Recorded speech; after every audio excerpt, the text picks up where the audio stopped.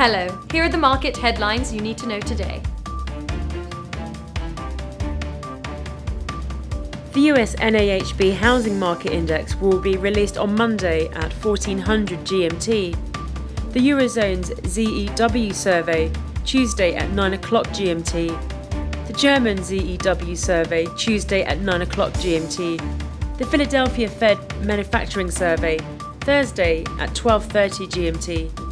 UK CBI Industrial Trend Survey Friday at 10 o'clock GMT and the Empire State Manufacturing Index Monday at 12:30 GMT. Beef companies, credit card firms, and liquefied natural gas exporters emerged as potential corporate winners on Friday as the US and China reach a trade agreement. The euro remained almost unchanged in the Friday session as German preliminary GDP gained 0.6%, matching the forecast.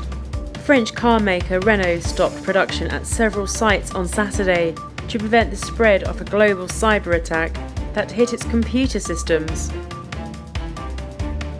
Twitter has seen some powerful positive thrusts in recent days, and although the RSI is signalling overbought, our summary remains strong buy. The price of gold kept its stability below 1229.32 after the positive attempt that it showed on Friday as the EMA 50 managed to form a solid resistance barrier that forced the price to decline. The price of silver continued to crawl upwards to approach from the key resistance at 16.56, and as long as the price is below this level, our bearish overview will remain.